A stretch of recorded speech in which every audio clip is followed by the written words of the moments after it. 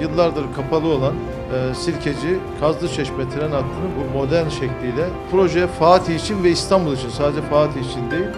çok önemli bir ulaşım projesi ve çok önemli çünkü geçmişte kentin hafızasında olmayan ve şimdi bundan sonra kentin hafızasına girecek çok önemli bir yaya e, odaklı ulaşım rekreasyon alanı projesi olarak İstanbullulara hizmet edecek bir proje. E, böyle bir projede ilk ray töreninde ve kaynak töreninde olmaktan dolayı mutluluk duyuyorum. Katılımları için de Sayın Bakanımıza teşekkür